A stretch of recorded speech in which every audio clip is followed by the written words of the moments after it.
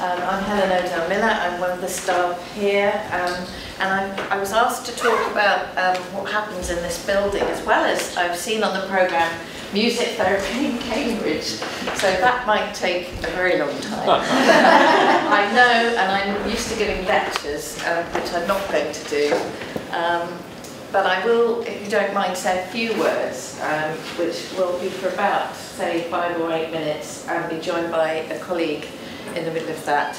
Um, so I just need to find the, the may look as if I'm going to give a lecture, but um, it's very interesting. So you can see that anyway, can't you? Um, This is what I usually do in my technicals. Yeah, so it's fantastic to welcome you all, and I've learned so much um, about Leah Manning, and I know that between us, um, we, we have learned that really the legacy that she left um, from the work that she did, I think we can say that we are continuing. Um, one of our major areas of music therapy um, has been and still is um, in working with children and families and especially those who are disadvantaged and who have special needs. Um, but also our most recent um, plan is to develop um, some more work, outreach work and so we are um, working with people at Arthur Rank to set up a post at Arthur Hospice and I noticed um, that the reference about Leah Manning really caring about um, children who were so starving they were dying, um, that sort of made me think there are so many links all leading with the work that we're continuing on. Um, we have three strands to what we do. So in 1994, here we set up the Masters of Music Therapy, which was the first Masters of Music Therapy in the UK. There had been music therapy training prior to that, um, since the late 60s, but this was the first Masters. Um, and then prior to that, um, actually we set up music therapy in Cambridge. So um, in 1976, I was able to uh, take on the first post at the Learning Disability Service, which was then the Ida Darwin Hospital, and develop a music therapy service there, and later moved to the Adult Mental Health Service in the NHS, and worked there full-time for many years, building up arts therapies. And then in parallel, and just coming slightly alongside and after, was Professor Amelia Oldfield, who is a real leader in the field of music therapy for children, um, young children under the age of five, and also showing how music therapy can help children with autism and their families um, throughout their life, but particularly sort of in their child years, adult, adolescent years and, and further. Um, and so we together wanted to learn from the work that we've been doing out there in the field in the National Health Service. Um, we designed a training course here. Um, and at first we were based um, in uh, just around the corner from here, uh, partly in Helmore, which is the main um, campus here, but also in a place called Paradise Street, just around the corner, in a building that was really not at all like paradise. the art department, some of you will know, um, and it had sort of the ceiling moved and um, flapped around, and if you wanted to go to the facilities, you needed to sort of nip out to the loo or something, you had to go right through the sculpture department and through classes where people were doing their work. It was, and it was quite dangerous as well. Sometimes we had to not teach there because it might be flooded. So. Um, so helped um, uh, by this university, who've always embraced our work as music therapists, um, and led by Paul Jackson, who's here, who was head of the music performing arts, so that's had many different guises, and together with others in the room, um, we then were able to set up the master's course, and then later um, train over 300 students, um, and set up a clinic. And we've got photos on this, um, which show uh, the opening of the clinic that was in the Helmore building, where for many years we um, had sessions working with children, adults from the community as part of student placements for the people who are training to be music therapists, but also with contracts from the local NHS. Um, and then um, we were given the opportunity to come to the school, which actually had been owned by the Education Authority, and Dr. Frankie Williams is here, who was a leader from the Education Authority there, um, has been telling me some of the history we haven't heard about yet tonight. Um, and for some reason, and she may be able to tell you at the drinks when we get there, um, uh, this, this building moved into dere derelict um, uh, state. I think we're in this room, aren't we? Yes, moment? so we're in this room. Do you have to turn the light on the left-hand one, Mm. top left? That's okay. So this is um, during the planning stage of moving the music therapy service to this building.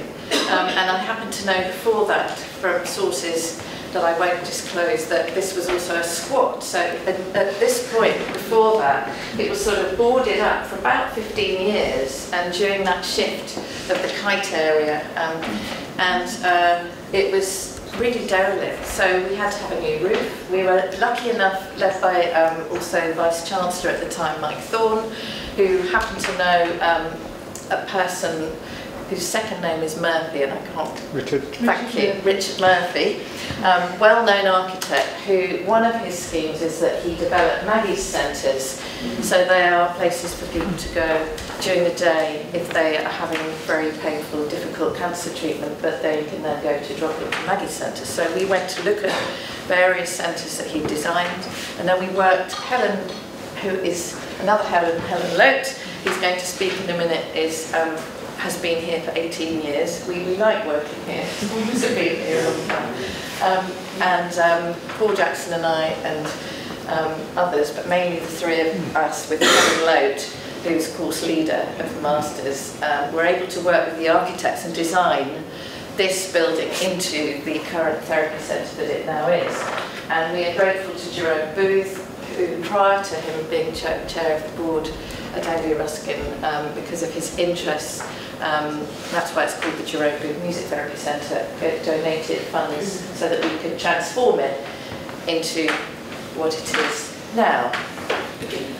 Yeah, so um, I know that probably you're you're really dying to get away, um, but I'd like to say that we've been here 25 years and that we had a 25-year conference, um, and that we are here because of the students. So the three strands of the training of the students, the clinic, where we do work with people in the community and research. And the research is about doing really important, the scientific side really, where we're doing enormous countrywide and nation, um, international trials, for example.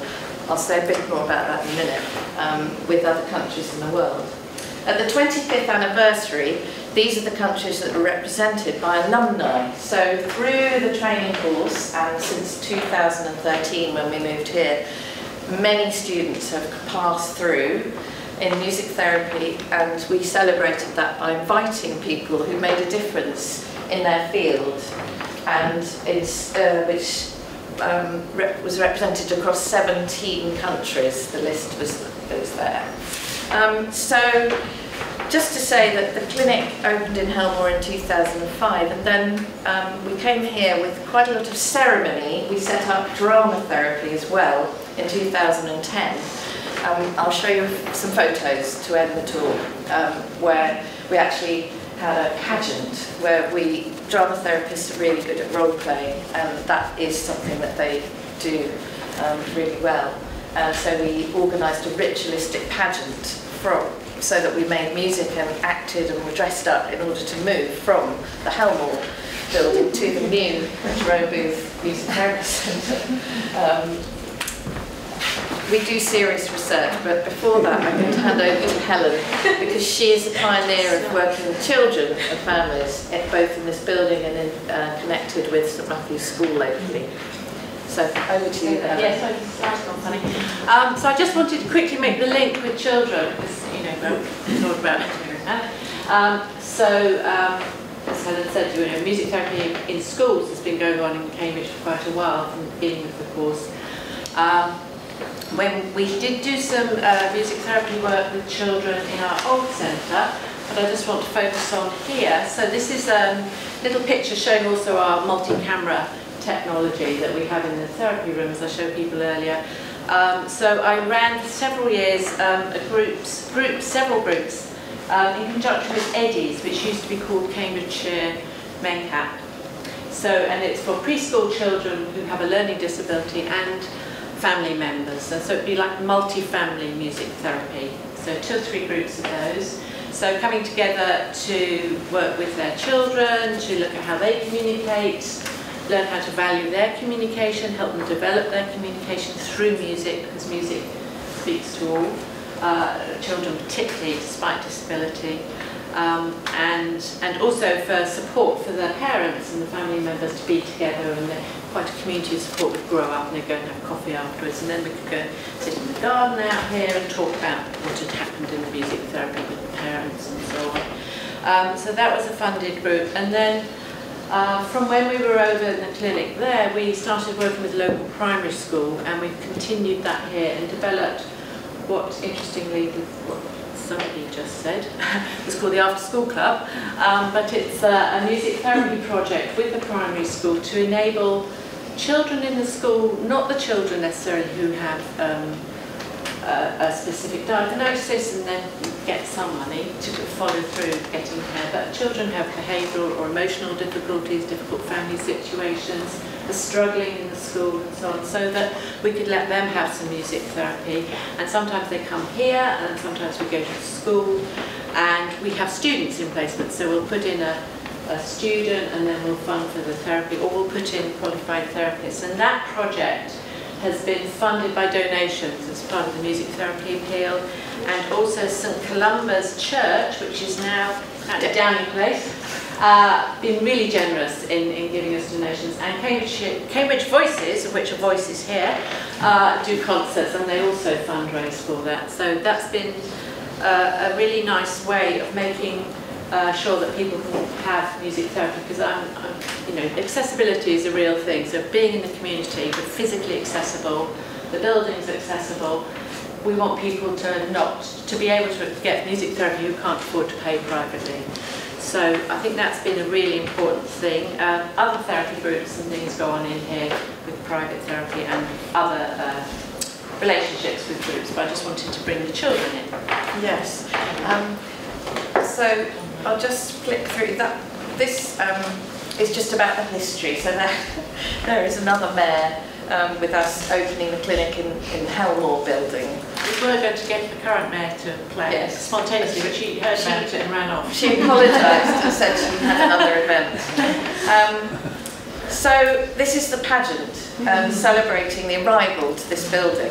Um, and then this is an up-to-date clip which actually in some ways captures the other work that we're doing, which is in addition to training students, we now have three or four very large grants for research. Um, one from the Alzheimer's Society UK, which is working with five countries um, with couples where one person is living at home and the other is living with dementia. And we're looking at a comparison between music therapy being delivered in the home with reading and storytelling and with um, not having that. Um, it's a randomised controlled trial, very large.